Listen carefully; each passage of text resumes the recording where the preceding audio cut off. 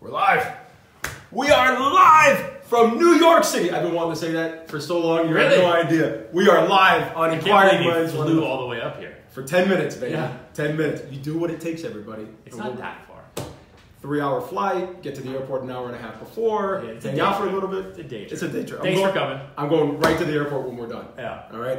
Guys, my name is Alex Vidal. I am president of Related ISG International Realty, and I am host of the show that you're watching today, Inquiring Minds Want to Know. Uh, if you like what you're going to hear today, like it, share it. Let's get Ryan as many views. I want to break the record. My record is close to 7,000 views for Wow. one episode. Let's break it with Ryan today. Like it, share Please, it. please break that record. Okay, we have a bet going on breaking the record, so let's see. Today's video is brought to you by Related ISG International Realty. If you're in Miami Dade or Broward County and you want to work for the best brokerage who's connected to the best brokers, not only in Miami but in the country, call me, text me, email me, Facebook DM me. Let's do it. But forget me. We are sitting here with Ryan Serhant, star of Million Dollar Listing New York, author. He's got another show, Sell It Like Serhant. Yes. Ryan, How are you? I'm doing great. Your energy is infectious. I like sat down. I was like, all right, let's do this. And now I'm like, let's do this. Let's do it, babe. Dude, I'm a, I'm Cuban, man. It's in my blood. Good. All right. I appreciate it. Ryan, I got not uh, eight questions and a special request at the end for you. Okay, perfect. fair enough. Let's do All right. it. Born in Houston, raised in Boston. Now you're in the Big Apple, conquering the Big Apple. Yeah. You're on a hell of a ride. Tell us a little bit about how you got to where you are today. Oh man, how much time do we have? Um, Ten minutes. Yeah, I was born in Houston, bounced around a lot, kind of went to Long Island for a little bit, kind of grew up outside Boston. Um, I, the only thing I was good at was theater, right? School, I was like okay, sports, I was terrible, but I was, I was good at theater. Went to college in upstate New York. After that, I was like, you know what? I gotta to try this theater thing because I'll regret it for the rest of my life. So I'll go to New York City, I'll try that. That's what I did 2006 to 2008. Uh, I just ran out of money. All my savings that you like from man, you know from construction how, jobs and how all old were you then? 21 to 23, Okay. right? So it's well, 21 to 22 to 24, I guess. Um, and so those two years, I did everything I could. I hand modeled. I was on a soap opera. I played a clock in an off off off off Broadway show in a basement. Like Okay. I did all the stuff you do as a you know trying to be an actor in New York City. But I ran out of money. Uh, sub, sub, the summer of 2008. Got my real estate license because I didn't know what else to do. And a friend said it's the greatest thing in the world. Real estate sales. Boom. 2008. Everything's awesome. September 15, 2008, started first day. Lehman Brothers files for bankruptcy, market crashes. That friend who told me to get into the business quit, moves to LA. He's like, business sucks, don't ever do this. I'm Yeah. like, what? I'm not, what am I Perfect to do? And I just started picking up the pieces from everybody else. All the other brokers who were getting out of the business, I just started picking up those pieces and I became obsessed with the idea that if someone didn't like a home, it wasn't because of my face. Right? Two years acting in the city, uh, you learn what real rejection is like because it's super personal. It's because of your face. It's because of your voice. It's because of how tall you are, short you are, and that's hard to take. And he's very tall. I'm Right. six feet. He's taller than me. Yeah. Um, and so I just realized that, listen, it's just about the apartments and it's a numbers game. I, I'm addicted to work. I'm going to work my ass off and make this a volume business for me. And that's what I did. And now I'm here 10 years later. And now we're interviewing Ryan. Awesome. Love it. Now, Wall Street Journal, Real Trends, ranked you and your team number two in the country. Yes. With, to me, it's mind blowing. 830 million in sales. Yeah. 830 million in sales. But that's not all. Like we talked about, you have your two TV shows, you have a book. What systems do you have in place to not only get in the right mindset, but stay in the right mindset and go out and fight this fight that you fight every day? I think every day for me, and my dad taught me this when I was a little kid, is a race. Yeah. Right? And I talk about that in the book, that every day is a race. You just don't know what kind of race it's going to be. It might be a marathon, it might be a sprint. It might be a sprint, then a decathlon, then a triathlon, then a marathon, and then back to a jog. Right? And so every day before I leave my house, I say ready, set, go. That's always been like my mind, mental mindset. It's right over there. Yeah, because it's it prepares you, whether you know it or not, subliminally that it's going to be a race, and let's try to win it if we can.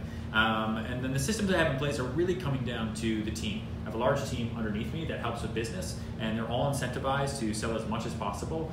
We have a we have five assistants that help us every single day, and my job is to quarterback all day long. I've set the team up kind of like a football team. Okay. Um, uh, people have talked about teams in that way before, so I'm not the first person to relate football teams to business teams, but it really works, right? Everyone can be a rock star in and of themselves, but you have a quarterback and a coach, and they drive the ship, but they cannot win without everybody else being awesome and doing their job, and that's really the system that I've created, and it started with me and one person, and now it's me and 61 other people. And by the way, you know, not to I'm gonna not to digress, but I'm gonna plug my team for a minute. If it Sure. wasn't for the fact that I didn't have an awesome team in place, I wouldn't be able to leave for the day and come to New York Yeah. and, and, do this. Same. Uh, I couldn't sit here. Yeah, with right? you. Yeah, even with 10 minutes. Now, what was your breakthrough moment that took your business to where it is today? And, and from that breakthrough moment, what can our viewers learn uh, that they can take their business to new heights? Breakthrough moment um, was probably figuring out how to structure my day, honestly. Because I, I was kind of lost, especially there at the beginning, the first couple years in the business. Because I'd look at my calendar in the morning, I'd have an appointment at 3 p.m., and then what do you do the rest of the, you're like, there's no boss. You go to the boss, and the boss is like, go sell. Right? I was told to post ads on Craigslist or meet people on the streets. That was how you got business in New York City or work your network in your sphere of influence. And I, I didn't know anybody. Not from here. My network was in like Colorado. like that Where doesn't help me. Steamboat Springs, Ah, tiny. it. like I, I wasn't popular in school, so I didn't have these like school friends or college friends that were wanting to do real estate deals with me. So I had to figure out how to structure my day, and that's also a big part of the book because I feel like a lot of people are probably in that same position where they're like, I, I want to sell more, but I don't know anybody. I'm not from here. I don't really know what I'm selling. Like, how do I do that? So I came up with a system called Finder, Keeper, Doer, which is really, really important for me, and I've always done it, and I, you know, my team does it, and so that's making sure that you are a CEO, CFO, and COO of your own business every single day. And for me, that's Finder, Keeper, Doer. So at the beginning of my day, I put on my imaginary Finder hat, and I would only be a quarterback. I would only be the CEO. I would just prospect for like two hours, or I'd think about my business. And I would force myself just to do that. Middle of the day, I'm the keeper. I'm just thinking about the money or the money I don't have, right? Where I'm going to advertise, how I'm going to build the business from a financial point of view, which a lot of people don't think about until it's too late. Um, and then the rest of my day, I'm the doer. I'm the foot soldier. I'm doing that work. Now I've got a structure to my day every single day. Finder, keeper, doer, without a boss having to tell me what to do. And that really was a turning point for me. Okay, awesome. That's great information. Now, you talked about your father. Uh, what was the one person who made the biggest impact on your career and why? Oh man. Uh, There may be many. I have several yeah. in my life Yeah, along the way, right? I would say, I mean, my dad for sure, right? Because he taught me the power of hard work and not quitting. Made me play every single sport known to man growing up because he couldn't understand why I was ter- so terrible at sports. So he thought maybe it's not baseball, maybe it's football, no, not that. Maybe it's basketball, no, not that. Maybe it's tennis. Um, and you know, the, never giving up. But I would say, like one of my first clients took a year to close, and he was so brutal and never responded to me ever. But I followed up with him like crazy. I talk about him in the book too. Uh, I call him Mr. X Okay. in the book. Um, and that deal taught me the power of persistence, perseverance, the power of follow up, and just not giving up in business. And closing him taught me that like I can close anybody. I might not. Obviously, there's definitely people that I can't close. But you have to think you can. But you have to think you can. You have to go into every game saying, "I'm going to win this game." If you go into it saying, "Well, maybe they're not serious. Maybe they can't do that," then like you've already quit. You're like running that race with cinder blocks tied to your feet, and I don't. You know, a lot of people ask me, "How did you get Ryan to go to agree to go on your show?" I'm like, I, I asked. That's it. I asked, right? And, and if you go into my Instagram messages, there's a million people that I've reached out, and I'm, I'm literally water torture. Boom, boom, boom. Yeah. You just gotta ask. The answer's always no unless you ask. Now, you've done an amazing job of building your brand. What advice? Um, where are we? I'm, I'm, I'm all excited. I have so much energy. I was nervous with this. You've done an, an amazing job of building your brand. How did you start, and what was the single biggest thing you did that made the most impact on your brand? I mean, listen, I would be lying if I didn't say that the TV show mm-hmm. was, was big for me, obviously. It accelerated my career very, very fast. But at the same time, the TV show didn't make the phone ring. It's, I thought it was going to. It was like, boom, I'm on a real estate reality TV show. People are going to call me left and right. No one cares. Like, no one called. And when was the last time you picked up the phone and called someone that you saw on TV? Other than reaching out to me today, but other than that, like, you don't pick up the phone and call Kendall, right? You're, it's, it's crazy. And so I had to then use the show to go and open doors. Okay. Um, and that was a big part for me in, in establishing the brand. But also, um, really having other people represent me was a big thing. So instead of just me pushing out Serhant, Serhant, Serhant, I then had one other person who said Serhant, and I'm there too. And then two other people saying Serhant, Serhant, and they're there as well. So that way, like, you're like an octopus, right? Trying to be in as many different places and as many different times and learning how to leverage other people and their voices for yourself is how you hit a mass group exponentially. That's we were talking about the growth of our brokerage earlier. That's how we did it. Raving fans. Create one raving fan, they tell everybody about you, and Just referrals. and right? there you go. Now, I have a lot of teams in my company, and I have a lot of agents that want to build teams. Sure. Uh, and you have teams where New York, California, Miami as Yeah. well. Um, what advice can you give to agents that want to go from being a single agent to becoming a team? You have to have the business first. Okay. Right? The biggest mistake that people make when setting up a team is they think that more people are, are going to make them more money and more business. More people create more problems. If you just have people sitting there without anything to do, then you've just created more problems. You know, I created a team because I wanted to get into a different price point. The deals that I was doing in New York City when I started were a thousand to twenty five hundred dollar a month rentals Okay. because that was where the bottom of the barrel in New York City. Brokers who had real business don't want to do that kind of stuff. Mm-hmm. But for me, I was brand, I, don't, I didn't know what to do. So sure, I'll show someone apartments for two thousand dollars a month. If they like something, the commission on that is two thousand. I split it 50-50 with the house. If I show them apartments for one day, I make thousand dollars.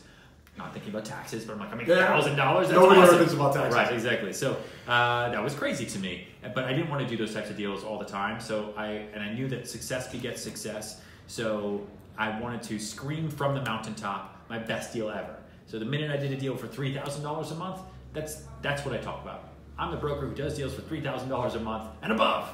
You know, use me. Everything that came in below that, because I don't want to say no to business ever.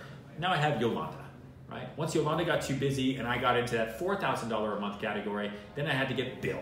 And I slowly grew that team because I wanted to be in a different price point. And that's it. And the key is make sure you have the business first. Yeah, always. Great. Now, lightning round, one word answers. You ready? You. Four. Okay. Best ROI for leads. Um, oh, We didn't practice these questions before we got started. He wanted to go on the fly, which I love. for me, it's been the gym, honestly. Is that like where, where I get leads, you mean? Yeah, the best ROI. If you if you had to put your money, and it could be the gym. You spend what two hundred bucks a month in the gym, and maybe Yeah. you know. Eh, But it, for me, it's been the gym. For other people, maybe it's church. For other people, maybe it's like daycare. You want to find that place where you have something in common with the person in front of you, not just going to networking groups, right? Not just going onto the street or going to other parties. Like, what do you have in common? For me, when I started, it was it was the gym. Uh, for other people, it might be something else. Okay. All right, fair enough. Favorite social media platform: Facebook, Instagram, or YouTube? Instagram. Instagram. Although I do have a vlog, you should watch it on YouTube. My YouTube team is watching Plug this it, right now. it, go ahead, what is? YouTube.com slash Ryan Serhant. Go there right now. I think a new vlog just went live at 4 o'clock. There you go. Boom. Fear. Uh, what I've realized in doing all these interviews, and I've interviewed billionaires like Gil Dezer to to you know regular agents. Everybody's got a fear. Yeah. What's your fear? fear of failure every day. Uh, Like like most people, right? Fear of going back to where I was 10 years ago, sitting on the subway crying because I was broke. Like, I don't ever want to go back to that moment ever. Um, and that fear becomes relative, and I talk about that a lot in the book too. Finding out what what makes you afraid, and then using that as fuel for the fire to run that race every day. Oh, great. One daily practice every agent should be doing to change their business. You start your day the night before. Okay. Yeah. So for me, that's cleaning out my inbox. It's getting ready, going through my appointments, reconfirming everything the night before. So when I wake up, I'm not like, oh, where's coffee? Okay, what's going on today? I've already started that process before I ever went to bed. I wake up and know exactly what's happening that day, and I'm already ahead of everybody else. Love it. Last thing. Tell us about your book. You have again your business 830 million in sales with your team. Yeah. You have two TV shows. Yeah. Now a book. Yeah. What compelled you to write the And a book? vlog. Uh, And and a a book. This is the book. Look how beautiful this is. He's got a lot of Like too. Serhants. Um, the book is my little baby. It took me so long to write this thing.